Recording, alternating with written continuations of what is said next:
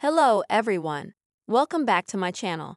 I hope you're all having a fantastic day.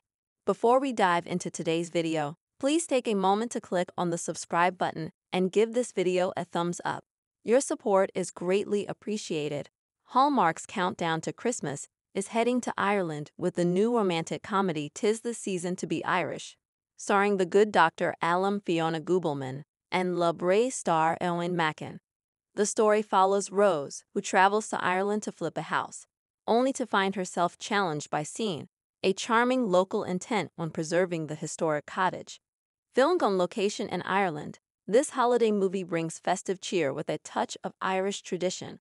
According to TV Insider, the story follows Rose Walsh, a nomadic house flipper who thrives on moving from place to place, embracing the freedom of a transient lifestyle.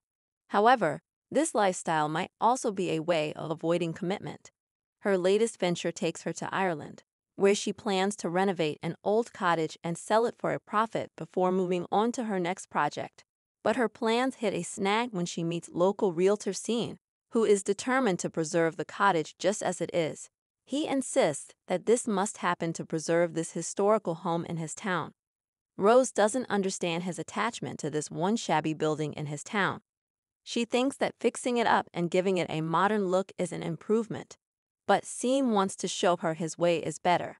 As she works on the cottage and embraces Irish Christmas traditions, Rose finds herself falling for Cian and questioning her fear of settling down.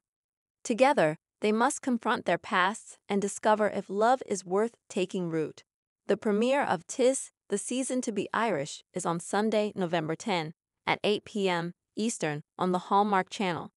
The new Christmas movie, filmed on location in Ireland, will be available to stream on Peacock within 72 hours of its premiere. It's been five years since Fiona Gubelmann starred in a Hallmark movie, as she's been busy with her role in The Good Doctor. Between the global pandemic, strict protocols, and her packed network schedule, the Christmas Next Door star hasn't returned until now. Fiona's comeback is a big deal, and fans are thrilled. Hallmark fans, are you excited to see Fiona Gubelmann return for a countdown to Christmas movie?